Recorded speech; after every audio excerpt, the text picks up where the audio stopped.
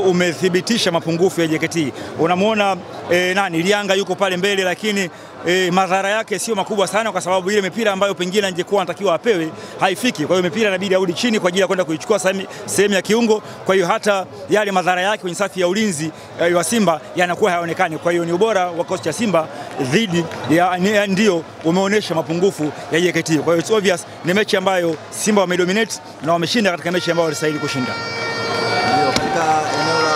Labda tumeona leo kwamba ameenda Luanga pamoja na Rastimoni Mzamili wakicheza kama kiungo wa ushambuliaji, labda umekionaje kiungo chao? Of course na leo pia unajua hiyo ni approach ambayo mwalimu nimeona kama vile ameingia na yani, ukimwangalia alikuwa anacheza Shomari Kapombe, ukimwangalia pia alikuwa anacheza huko pembeni eh, amini eh, nani Shabalala, unaona kabisa kwamba yani hawakuwa ma fullback, walikuwa ni wingback yani kama pile katikati walikuwepo walinzi watatu, alafu sehemu ya kiungo ndio alikuwepo Mzamiru of course, unamwona pia na Tadeo Luanga, lakini e, na Erasto Nyoni alikuwa eneo hilo la katikati. Kwa hiyo ukiangalia approach ya mwalimu leo unaona kabisa kwamba hakutumia ma fullback, alikuwa na ma wingback, na ndio sababu muda mwingi ulikuwa unamwona Shabalala kwanza katika katikati ya uwanja kwenda mbele, hali kadhalika unamwona Shomari Kapombe kwanza katikati ya uwanja kwenda mbele. Kwa hiyo safu ya kiungo walikuwepo viungo hao watatu ambao ndio unamwona tadeu lwanga ndio pengine alikuwa amepewa jukumu la migongano, lakini wengine wote walikuwa wakicheza soft football.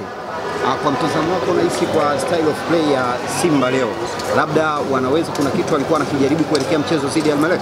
Naona kabisa yani, kingine kimoja kabisa ambacho kimeonekana kabisa ni kutokutumia nguvu. Yani Simba unaona kabisa kwamba leo hawatumii kabisa nguvu, yani hata ile migongano ambayo of course ndio kwa mfano kama ule wa goalkeeper ile haikupeki, lakini migongano mingine katikati ya uwanja mara nyingi sana tunaona kabisa kwamba walikuwa wanai yani wana escape, na hata approach ya mpira ambao walikuwa wanacheza yani ilikuwa soft football, aina ya mpira ambao mwalimu imeonekana amezingatia mahitaji ya mechi za kimataifa, na ndio sababu amecheza mpira, amewaelekeza wachezaji kwa sababu wana uwezo wa kumiliki mpira, ndio sababu wamecheza mpira kwa kutokutumia matumizi ya nguvu, lakini pia na kuepusha injury ambazo of course katika eneo la goalkeeping injury nyingine huwa zikupeka, lakini katikati ya uwanja hapana shaka ni approach ambayo mwalimu pia alikuwa ameipanga inaonekana. Asante. Asante.